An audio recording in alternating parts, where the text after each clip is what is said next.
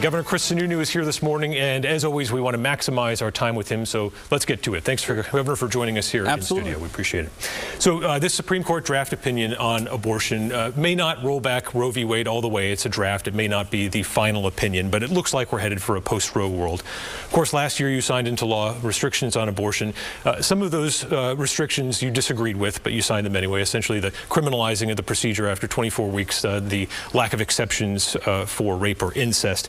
Uh, in part, uh, your willingness to bargain on that uh, upset a lot of pro-choice people, and that's part of why they've said you can't be trusted on this issue. So what assurances can you provide that something similar like that like a bargain like that won't happen in the future. Well, again, uh, that was put into the, the budget, so we weren't going to shut down, you know, veto the budget and shut down state government uh, over that provision, even though it was uh, clearly much more strict than, than what I was looking for.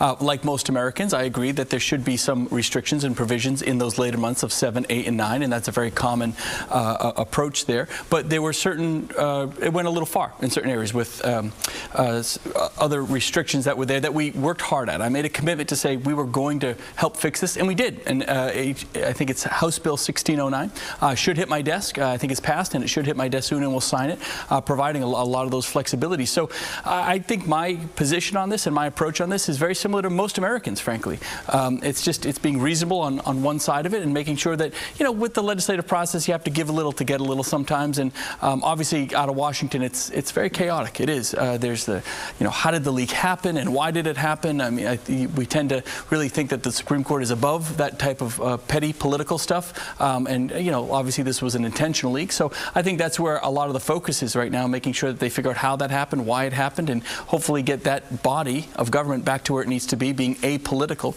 in their decision-making process. So a lot of people see this as kind of a black and white issue, and the principles are inviolate. So you know, if the House and the Senate do this again in 2023, they put additional restrictions on abortion into a budget that you like, that has tax cuts mm. and lots of other things that you want, will you make the same kind of compromise and over your concerns sign the budget anyway? Well, I, I, look, I, I, guess it depends what restrictions you're talking about and where it goes and, and all of that. Um, but no, I'm not looking to make any additional changes uh, in terms of law. And, and, folks need to know that, if, you know, regardless of what might happen in Washington, our laws in New Hampshire do not change. Um, we still have, uh, the, the, and women have especially, uh, the freedom of choice here. That does not change here in New Hampshire. And so uh, we don't uh, automatically defer one way or the other. Our laws uh, stay where they are. Of course, you're in a unique place as a statewide elected, high, high profile pro-choice Republican. This year could be a Republican wave. And you've said before, it, it's not a deal breaker for you to campaign alongside pro-life candidates. But there's this situation here where you could end up with your coattails, you know, you had ample coattails in 2020. Mm. You could sweep into office a veto-proof pro-life majority.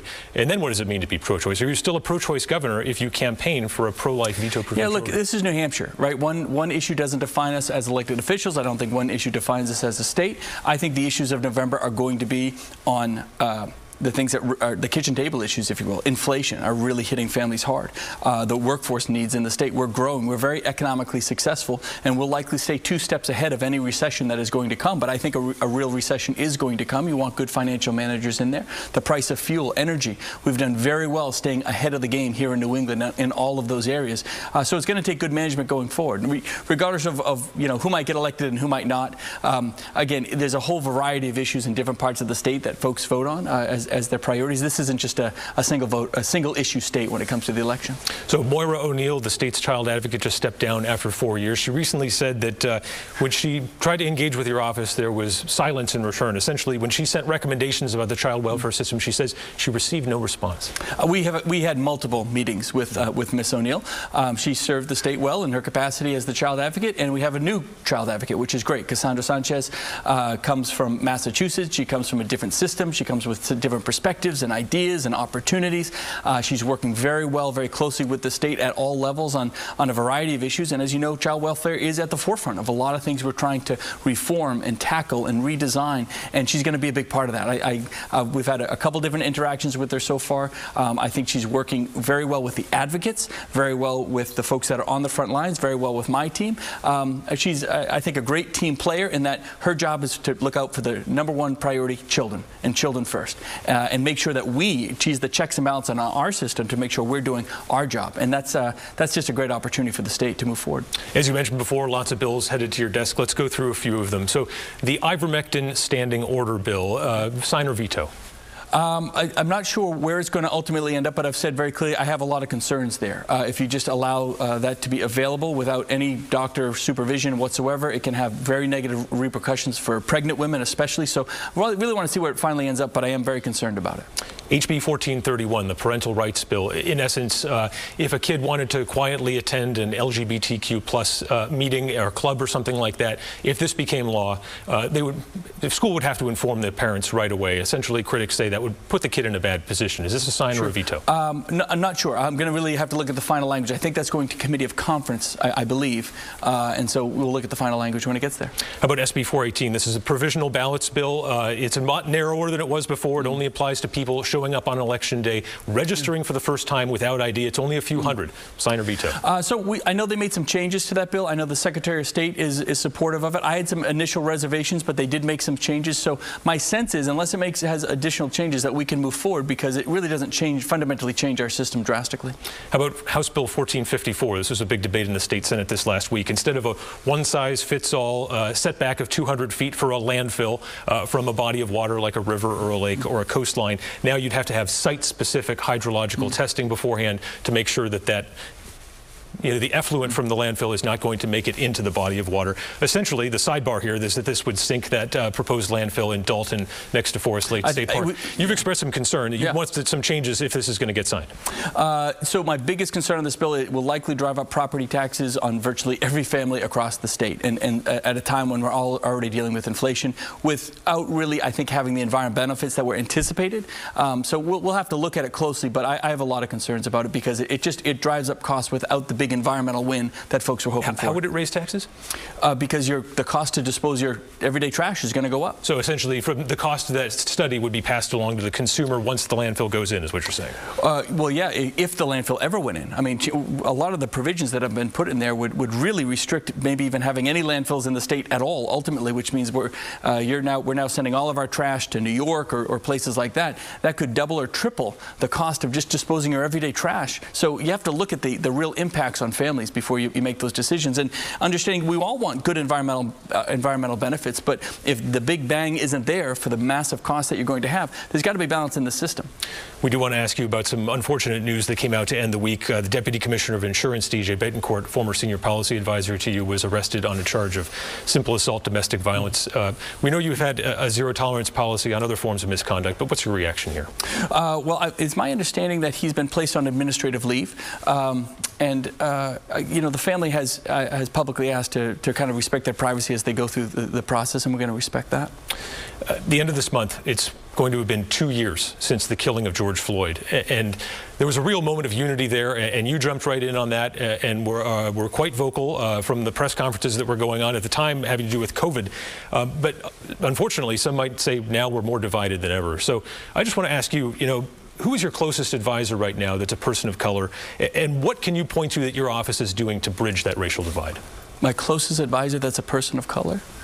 Probably my pastor, Michael. Yeah, I mean, I, I, mean, there's a lot of people, lots of people of color that we have both in the administration and that we lean on for advice and support in, in a variety of different ways. So I don't really think about it like that, but I, I suppose my, my pastor, Michael Worsley, he, he, uh, you know, when I, when I need good sound advice on a variety of things, I, I go to him. But that's not just on, on issues like this. That's, right. that's on, on everyday issues. Right. It was such a part of the discussion, though, two years ago. What oh, would you say the governor's office is doing right now to bridge that racial divide?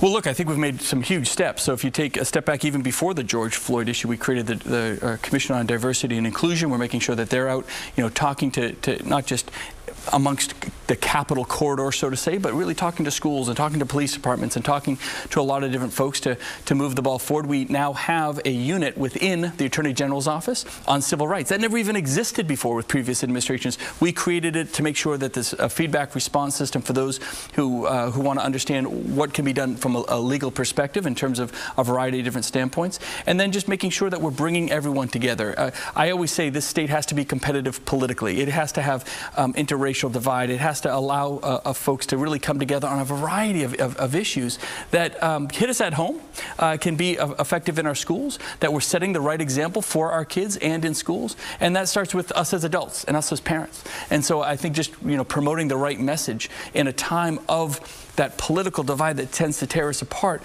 uh, you know, I, I talk a lot about how media or social media, you know, kind of exacerbates that divide. Politicians tend to hand the microphones to the extremes. We're not an extreme state, and that's not just politically. That's that's how we conduct ourselves uh, over a variety of issues: LGBTQ issues, um, uh, issues of, of uh, uh, sexual identity, of gender, of race. It could be a variety of different things. But at the end of the day, we all need to come together on this stuff. And again, leading, I think, by example and with the right positive attitude is is the biggest step we can take. Let's hit on some political topics before we wrap up. Uh, you decided not to run for U.S. Senate, but you did kind of wade into that uh, recently. Uh, you had some comments about uh, Wendy Long, who was the U.S. Senate nominee for the Republicans in New York State Oh, yeah, a couple yeah, of times. Uh, you know, you said some things that made it sound like if she gets into the U.S. Senate race here in New Hampshire, she might not be your favorite candidate.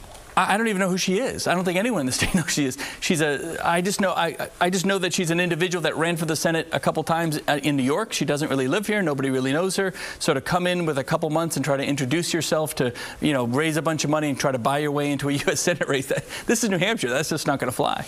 When we talk about races, uh, whether or not you're trying for this, a lot of people in national media in Washington view you as a possible presidential contender in 2024. You know, with a two-year term in office in Concord, do you feel like you owe an answer to the voters of New Hampshire before November as to whether or not you're going to start looking at running for president in 2024? I'm not looking to run for president. That's not that. Uh, other people are, are talking about that, but my, my goal is to let sh- make sure people understand what we've done for this state, the challenges we still have ahead of us. My focus, in terms of the politics, if you will, is on uh, earning earning the people's vote in the election in, in November of 22. What happens after that, you know, I don't know. I mean, we'll see where it goes, but I, I, I don't think I'm not thinking beyond that because I might not have a job beyond that. I got to earn it. There's accountability in the system. Um, you know, I think we've done some great stuff on mental health, great stuff on opioid addiction, great stuff um, on child welfare. You know, being very transparent, owning those reforms, knowing that we could have another COVID surge potentially, and being very transparent with a great team on that. So it doesn't mean everything we do is perfect, but you got to go out and talk to people and, and, and earn those votes in, in November. And that's that, politically speaking, that's my only focus. So not ruling it out then for 2020? I, I, I don't rule anything out. All right, Governor Chris Sununu, thank you so much for You bet. joining us on Thank you. Close Up.